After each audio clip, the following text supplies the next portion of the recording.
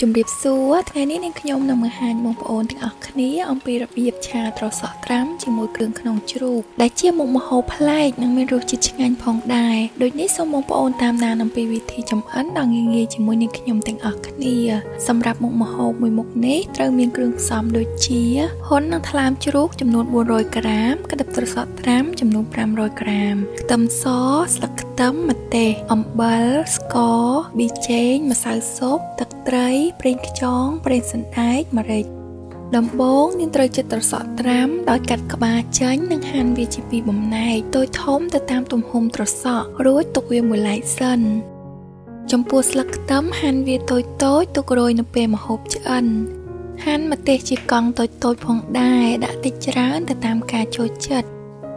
ដំខ្ទឹមស4ទៅ5កំពឹសនិងចិញ្ច្រាំឲ្យបានម៉ត់ល្អ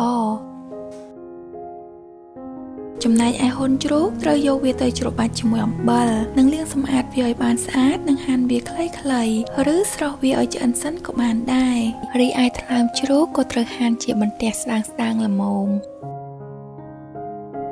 ឥឡូវចូលដល់វិធីចម្អិនដំបូងយើងត្រូវចាក់ប្រេងសណ្ដែកប្រហែល3ស្លាបព្រាបាយដើម្បីរំលីងខ្ទឹមសបន្ទាប់ពីឡើងពណ៌ក្រហមនិងឈ្ងុយយើងអាចដាក់ហ៊ុននិងថ្លើមដែលបានហាន់និងស្រោះរួចមុននេះចូលរួចធ្វើការឆាវានិងបន្ថែមគ្រឿងទេសចូលដូចជាទឹកត្រី1ស្លាបព្រាកាហ្វេអំបិល1ស្លាបព្រាកាហ្វេម្សៅស៊ុប2ស្លាបព្រាកាហ្វេប៊ីចេង1ស្លាបព្រាកាហ្វេស្ករស3ស្លាបព្រាកាហ្វេប្រេងខ្យង3ស្លាបព្រាកាហ្វេ រួចហើយឆាវាឲ្យចូលសព្វគ្រឿងនិងក្រប10នាទីដើម្បីឲ្យគ្រឿងក្នុងរបស់យើងបានឆ្អិនល្អបន្ទាប់មកទៀតយើងអាចដាក់ត្រសក់ត្រាំរួចបន្តឆាវាបន្តិចទៀតយើងអាចដាក់បន្ថែមជាមួយម្រេចគល់ខ្ទឹមនិងម្ទេសចូល និងឆាវាមួយត្រឡប់ទៀតដើម្បីឲ្យចូលជាតិគ្នាបានល្អ